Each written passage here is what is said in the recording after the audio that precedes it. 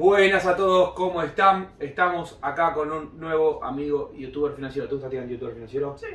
¿O qué, No otra, qué- qué otro tipo de expresión preferís? No me molesta, un Ah. tipo común. soy- no, eso, eso se tipo, un, tipo, un tipo común Un haciendo tipo videos de común, YouTube. Un tipo común, claro. Que ¿Sabes invierte que la a, mí, bolsa. a mí unas personas me dicen, che, te dicen, eh, eh, espérame un segundo, espérame un segundo porque tengo que hacer algo importante. Les voy a explicar que él mide como un metro noventa, Claro, yo verdad. mido un metro ochenta, pero el truco es, cuando alguien viene, al- viene alguien alto a la oficina, tipo, ¿qué hacemos? Tampoco soy el mano de la bolsa. No, decí que sí, así yo creo más alto. bueno, ahí. Ahí va. Bueno, ahí estamos de igual de, de alto. No, va- varias personas me preguntan, che, youtuber financiero, pero no te preferís, me llaman de algunos de radio, televisión, che, ¿te, te querés que digamos youtuber financiero o preferís que te digamos de otra manera? No, youtuber financiero, me hago cargo, si hablo de, de finanzas en YouTube.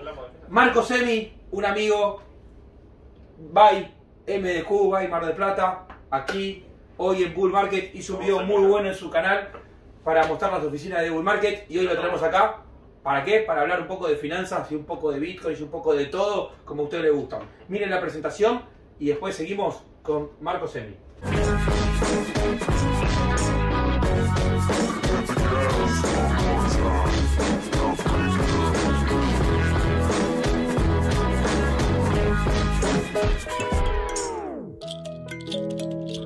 Estimados, ¿cómo están? Acá estamos con Marcos que nos viene a contar un poco sobre su canal y para hablar un poco de finanzas. Contanos, Marcos, de qué solés hablar en tu canal. Después la gente obviamente va a ir se va a suscribir, pero bueno. Esperemos que sí, esperemos que sí, esperemos que sume. bueno, mi canal está orientado a las finanzas personales. Yo soy Marco Semi de Microfinanzas Personales. Y la premisa del canal es finanzas fáciles sin tecnicismos. Cosa fácil, rápida, ¿sí? sin tener que andar con mucha cosa técnica para que no te haga complicado. Después ya si te interesa y te querés meter de lleno, ahí ya hay que leer en profundidad. Pero la verdad que hay finanzas muy fáciles hoy en día para hacer, sobre todo... Pre- pre- eh, pregunta, ¿cuál es la pregunta que más te hacen en tu canal? ¿Cuánto va a estar el Bitcoin? ¿Cuánto va a estar el Bitcoin? Te la pregunto yo, ¿cuánto va a estar el Bitcoin dentro de... No, no, ¿cuánto va a estar el Bitcoin? No. ¿Qué opinás de esta nueva realidad alcista de- del Bitcoin? del Bitcoin y que ya le va a durar poco. Acuérdense que en diciembre, más o menos en fin de año, todos que hacemos. Tenemos primero y primera premisa principal es que la plata hay que gastarla, chicos. Así que por más que hay que invertirla, tiene que tener un objetivo. Entonces, en diciembre, yo creo que más allá de Bitcoin, creo que todo va a empezar a, a tener por lo menos una toma de ganancias y es lo más normal del mundo. Tenemos que proteger también nuestro capital. Totalmente. Pero por y, más te ahora. estás, y más estás ganando plata. Si vos pusiste ¿Qué lo 10, vas a dejar? si vos pusiste 10, vos compraste ponen en 40 mil, vale 75 mil, por lo menos vende lo que estás ganando. Claro. No hay que ser tan ambicioso. O sea, Una parte, vos, para algo, para, para algo está el dinero, el dinero también, el dinero está para ahorrar, para invertirlo, pero también está para gastarlo. Sí. Y también, o para gastarlo, o a veces para invertirlo de otra manera. Se puede invertir en educación, se puede invertir en un viaje. Correcto. Hay gente que esas cuestiones las llama inversión y no gasto. Que no me parece mal, es la decisión de cada uno y la percepción de cada uno. Siempre Si te gusta ir a comer, claro, si te gusta ir a comer, si te gusta salir de joda y tomarte un champán. Yo lo considero un gasto porque a mí no me gusta el champán. Claro. Pero capaz alguien lo considera una inversión en Si entretenimiento. por ahí Si te gusta- te ayudó a eso, Gastátelo en aprovechalo un champán. usalo. A mí no me gusta el champán. O sea. De hecho, hay yo prefiero, colegas, yo prefiero seguir teniendo Bitcoin antes de comprarme hay champán. colegas que en Bitcoin ¿viste? salen así tomando algún champán, una cosa Está bien, si está le bien. gusta, se está dando el lujo. Se está dando el lujo. Sí.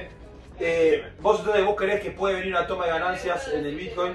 Sí, la verdad que, mm, a ver, yo creo por por cómo está todo, eh, no tengo los gráficos acá a mano, ¿no? Pero ya estamos en los 65.000, yo compré en 63.000, te lo digo, yo muestro todas las operaciones. no Como desde mí compraste. Y, Sí, sí. y había salido vos antes. Com- compré- no, yo siempre compro, pero no vendo. Es decir, yo compro, no me apalanco.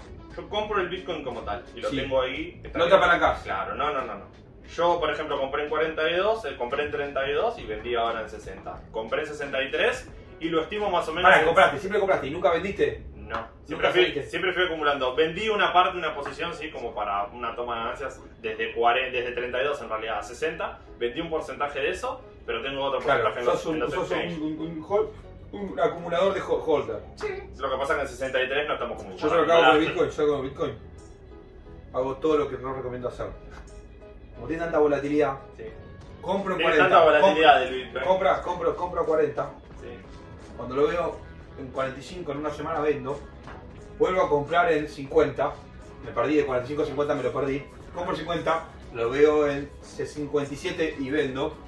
Lo veo en 59 compro. A veces también compro, ah, no también diferente, que Sí, siempre compro arriba. A veces Pero también bueno. hago la diferencia.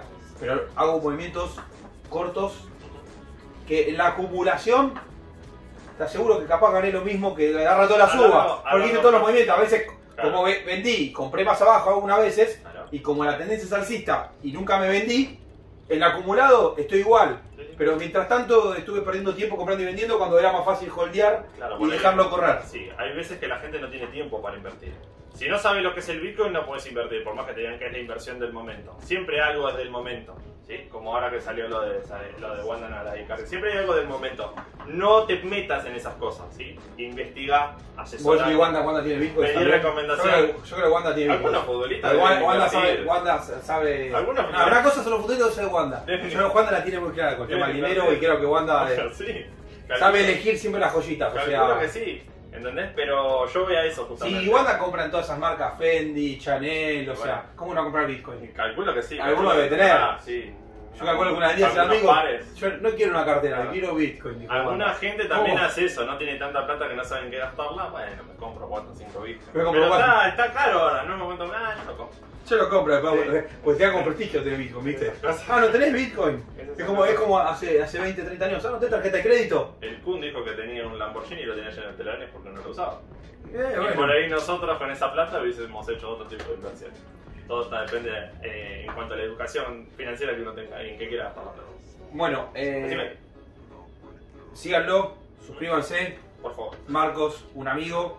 Está muy bueno que cada vez haya más youtubers, que haya, o sea, hoy está Marcos, mañana está Juancito, mañana Marcos le da, le da el pie a otro, Sí, o sea, él me dio el pie ahora en su canal. Esto es una comunidad que se interrelaciona así, o sea, somos todos colegas y no simplemente los que estamos detrás de cámara, sino también los que están detrás, que nos acompañan, porque viste que está también los que nos siguen en los canales, que son medios bulleristas, los conocen a todos, Sí, no dice o nada. sea, opin- opinan, algunos opinan, otros Claro. solamente leen comentarios.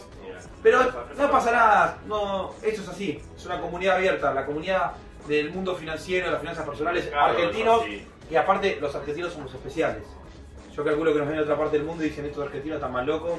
Mucha competitividad en cuanto a los argentinos. Gracias Sí. a vos por invitarme acá a las oficinas de Google, acá a tu espacio de trabajo. Eh, ya van a ver. Trabajo, escucharon trabajo. Sí, para, lo que creen que trabajo. para lo que creen que Sí. la especulación financiera no es trabajo.